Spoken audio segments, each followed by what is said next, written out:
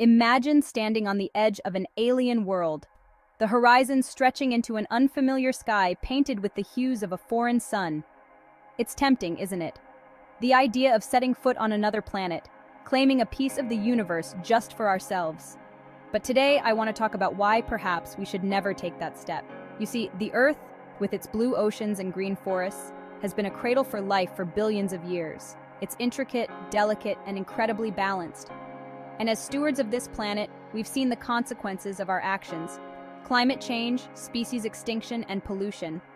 These are red flags, urgent warnings from our own world about the impact we have when we don't tread lightly. Now imagine carrying that footprint to a world that's never felt a human touch, where ecosystems might be even more sensitive than our own. Alien worlds aren't just empty lands waiting to be claimed. They could be home to forms of life so different from ours that we can't even yet comprehend them. By attempting to colonize these planets, we risk repeating a history of disruption and destruction. Instead of looking outward to change other worlds, let's focus on changing how we live in our own. Let's repair and restore the Earth, learn to live sustainably, and respect the intricate web of life that exists here. This isn't just about conservation, it's about transformation, transforming our technologies, our economies, and our societies to be in harmony with the planet that gave us life.